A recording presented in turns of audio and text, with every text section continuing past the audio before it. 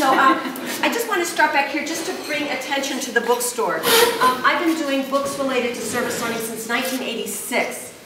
Don't think about that too much. Um, and um, so I brought books that I think will help you advance your service learning by getting kids engaged in reading things, reading stories, fiction, nonfiction, that will excite them and inspire them to want to do things in their world.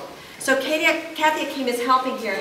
So you don't even need to be able to pay today. You can take it, we'll bill you later. If anything interests you, please make sure you take a look before you leave. There's exceptional books here, um, really for your use. I will be mentioning a few of them.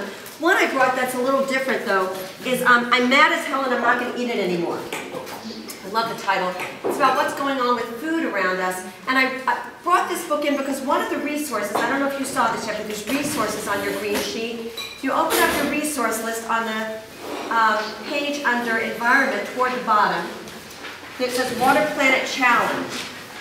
So it's the page under Environment and Gardens. If you go down to Water Planet Challenge, um, I've written some action guides for this program. And one, my newest one is called What's on Your Fork?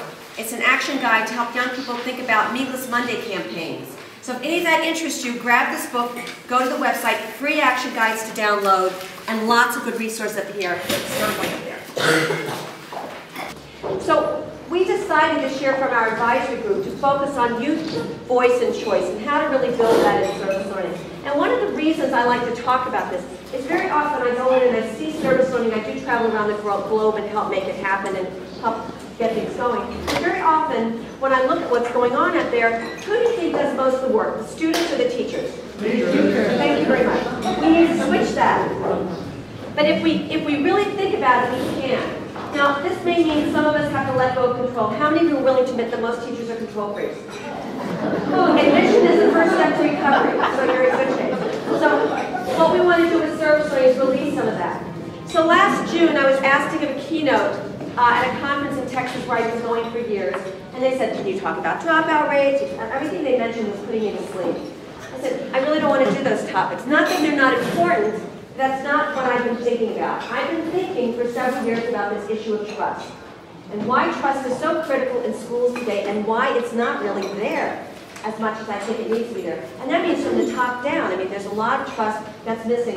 Think of how our federal government and education may not trust our states, or our schools. You know what I'm talking about, right? We see a lot of it. So what do we need to think about trust? So everybody should have handouts. Everybody should have handouts in front of them.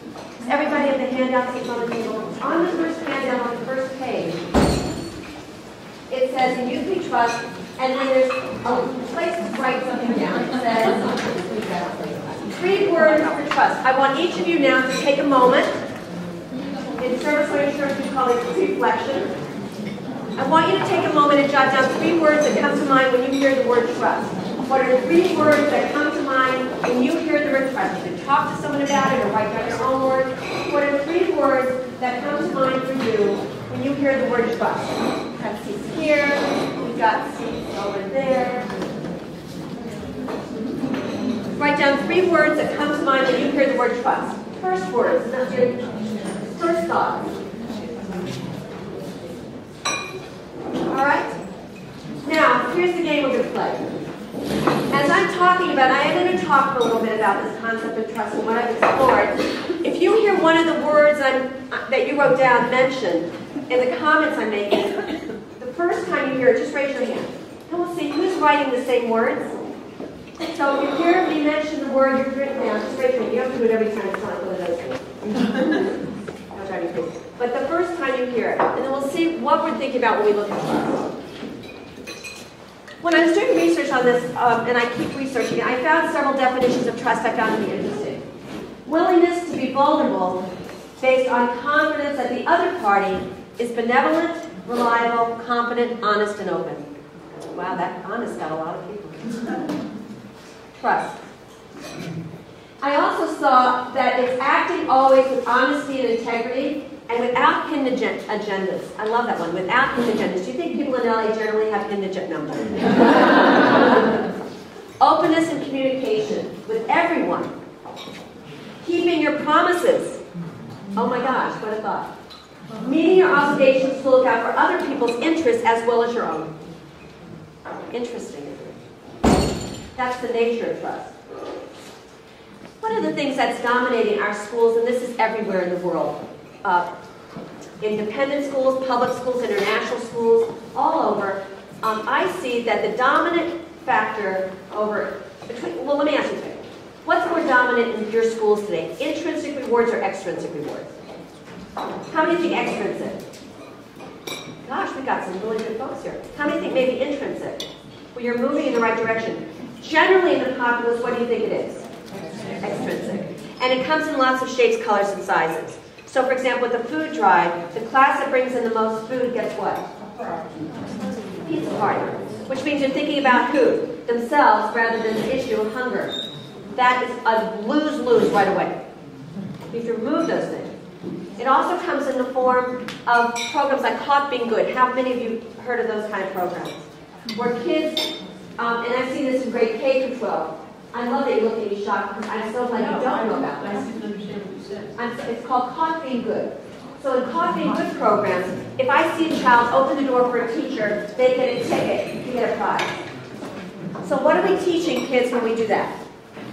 Get a prize for. You get a prize, or you, if you do something. Now, when I was a kid growing up, if my friend forgot the lunch, what would we naturally do? Sure. But if you have a being good program, what does a kid always do before they share the lunch? Make sure somebody's watching. This is all. This is all stuff. so I help deconstruct those programs, and part of it there is that teachers don't think, or schools don't think, that kids will do what's best. They won't do what they think is right. It undermines our belief in, in what? The kids, and trusting them. So I think we have to replace extrinsic with intrinsic. And as we do, we're building a, a community where trust is alive. Now, one of the books that influenced me, and that's why I brought some of the books to share with you, is that as I was looking into this, I picked up a copy of the book Drive by Daniel Pink. How many of you read things by Daniel Pink? He's such a great writer. He also has TED Talks on this topic, which I haven't watched, but people say are fabulous. This book is on the surprising truth about what motivates us. And it talks about business, it talks about schools, talks about lots of things. So I'm just going to share with you a little of what's in here. He says rewards or short short-term boosts like a cup of coffee. You know, it feels good for the jolt, but it doesn't really take you anywhere. It doesn't last long. So it actually reduces long-term motivation. Isn't that interesting? It actually backfires. He says short-term incentive plan, plans and paid for performance programs get people more looking at their checkbook than looking at what's really going on. That sometimes if they give something at the end of it, just as, wow, you did such a great job, here's a you know, $100 certificate for dinner somewhere, those work, but putting it up front actually interferes with the creative process. Um, so, worst of all, he says, oh, I've got to read it. He says, I love this part.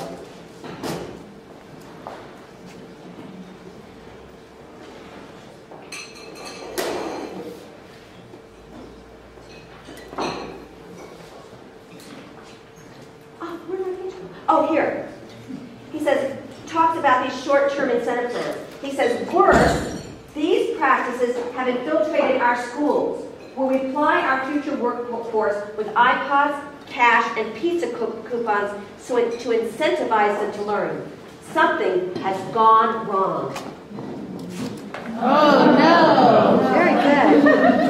So, so what's going on right now is these kinds of extrinsic and these kind of controlling things create a, a situation where we are always looking how do you control and manage teacher education programs, how do you control and manage kids. I was speaking, I was keynoting at a character ed partnership conferences about a year and a half ago, and I was going around to a lot of workshops before my keynote. And even at a character ed conference, we were talking about how do you control and manage kids. How many of you, when you were a kid in school, wanted to be controlled and managed? How many of you really are excited about being controlled and managed now? So we're doing something really what I would call in a group of friends, back backwards, you know. So I think we want to really replace this concept of control and manage with to engage and inspire. If we engage and inspire young people, we don't have to control and manage because they're engaged.